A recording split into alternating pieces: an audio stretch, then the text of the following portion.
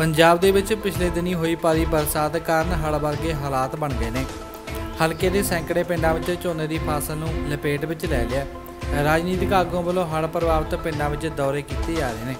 ਸਾਬਕਾ ਕੈਬਨਿਟ ਮੰਤਰੀ ਅਤੇ ਜ਼ਿਲ੍ਹਾ ਪ੍ਰਧਾਨ ਸ਼੍ਰੋਮਣੀ ਅਕਾਲੀ ਦਲ ਸੁਰਜੀਤ ਸਿੰਘ ਰਖੜਾ ਵੱਲੋਂ ਨਾਭਾ ਹਲਕੇ ਦੇ ਹੜ੍ਹ ਪ੍ਰਭਾਵਿਤ ਪਿੰਡਾਂ ਦਾ ਦੌਰਾ ਕੀਤਾ ਗਿਆ। ਰਖੜਾ ਨੇ ਕਿਹਾ ਕਿ ਜੇਕਰ ਪੰਜਾਬ ਸਰਕਾਰ ਵੱਲੋਂ ਪਹਿਲਾਂ ਹੀ ਚੋਆਂ ਦੀ ਸਫ਼ਾਈ ਕਰਵਾਈ ਜਾਂਦੀ ਤਾਂ ਆਹ ਹਾਲਾਤ ਨਹੀਂ ਬਣਨੇ ਸੀ। ਉਹਨਾਂ ਨੇ ਕਿਹਾ ਕਿ ਪੰਜਾਬ ਦੇ ਵਿੱਚ ਕਾਂਗਰਸ ਸਰਕਾਰ ਵੱਲੋਂ ਗਲਤ ਮਾਈਨਿੰਗ ਨੂੰ ਲੈ ਕੇ ਹੜ ਜਿਹੇ ਹਾਲਾਤ ਬਣੇ ਨੇ। ਉਹਨਾਂ ਕਿਹਾ ਕਿ ਕੈਪਟਨ ਅਮਰਿੰਦਰ ਸਿੰਘ ਵੱਲੋਂ 100 ਕਰੋੜ ਦੇਣ ਦੀ ਬਜਾਏ 50 ਕਰੋੜ ਦਾ ਪਹਿਲਾਂ ਹੀ ਐਲਾਨ ਕੀਤਾ ਜਾਂਦਾ ਤਾਂ ਜੋ ਇਹ ਹਾਲਾਤ ਹੀ ਨਾ ਬਣਦੇ ਉਹਨਾਂ ਦੇ ਨਾਲ ਹਲਕਾ ਇੰਚਾਰਜ ਨਾਭਾ ਕਬੀਰ ਦਾਸ ਵੀ ਮੌਜੂਦ ਰਹੇ। ਇਹੀ ਰਸਤਾ ਹੈ। ਤਾਂ ਕਿ ਜਿਹੜਾ ਲਵਾਣੇ ਢਾਬ ਚੋਂ ਪਾਣੀ ਦਾ ਰਾਹ ਕੀਤਾ ਹੋਇਆ ਹੈ, ਜਿਹੜੀ ਬਾਊ ਜੀ ਨੇ 7-8 ਦੀ ਦੱਸੀ ਆ, ਉਹ 10-10 ਫੁੱਟ ਦੇ ਦੋ ਦਰਵਾਜ਼ੇ ਆ ਰਹੇ ਨੇ। ਉਹਨਾਂ ਨੂੰ ਇਹ ਕੋਈ ਪੂਲੀ ਪਾਣੀ ਨੂੰ ਸਾਂਭ ਨਹੀਂ ਸਕਦੀ।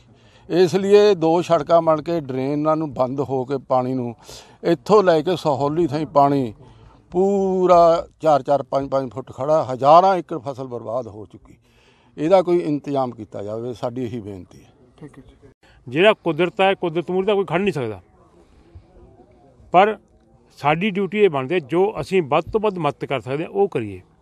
ਸਰਕਾਰ ਕੋਲ ਬਹੁਤ ਸਾਧਨ ਹੁੰਦੇ ਨੇ। ਜੋ ਕੈਪਟਨ ਸਾਹਿਬ ਹੁਣ ਕਹਿ ਰਹੇ ਨੇ ਮੈਂ 100 ਕਰੋੜ ਰੁਪਇਆ ਕਰਤਾ, ਜੇ 100 ਕਰੋੜ ਰੁਪਏ ਦੀ ਬਜਾਏ ਵੀ 50 ਕਰੋੜ ਹੀ ਖਰਚ ਕੀਤਾ ਹੁੰਦਾ ਸ਼ਾਇਦ ਇਹ ਨੌਬਤ ਨਾ ਆਉਂਦੀ।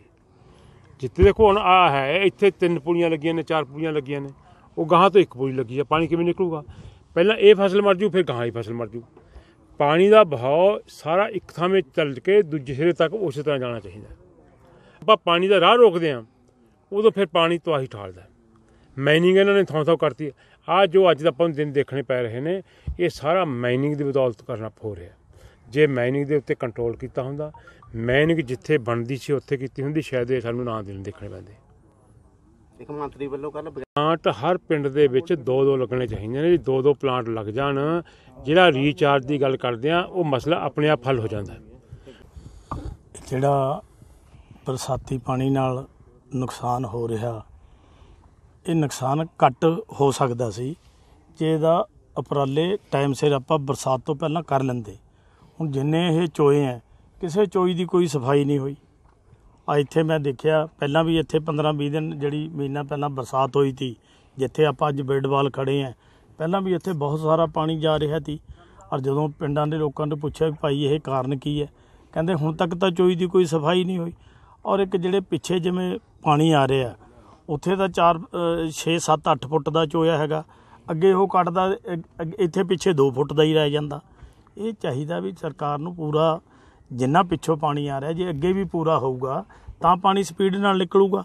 ਦੇਖੋ ਜੀ, ਇਹ ਤਾਂ ਤੁਹਾਡੇ ਸਾਹਮਣੇ ਹੈ। ਪੰਜਾਬ ਸਰਕਾਰ ਨੇ ਕਹਿਣਾ ਕੁਛ ਹੈ, ਕਰਨਾ ਕੁਛ ਹੈ। ਸਿਰਫ ਬਿਆਨਬਾਜ਼ੀ ਤੋਂ ਇਲਾਵਾ, ਫੋਟੋਆਂ ਤੋਂ ਇਲਾਵਾ, ਬੋਲਣ ਤੋਂ ਇਲਾਵਾ, ਮੈਨੂੰ ਦੱਸ ਦਿਓ, ਨਾਭੇ ਸ਼ਹਿਰ ਦੀ ਗੱਲ ਕਰ ਲਓ। ਅੱਜ ਕੀ ਉੱਥੇ ਬੁਰਾ ਹਾਲ ਹੈ? ਆਵਾਜ਼ੀ ਕੌਮ ਟੀਵੀ ਲਈ ਨਾਭਾ ਤੋਂ ਤਰੁਣ ਮਹਿਤਾ ਦੀ ਰਿਪੋਰਟ।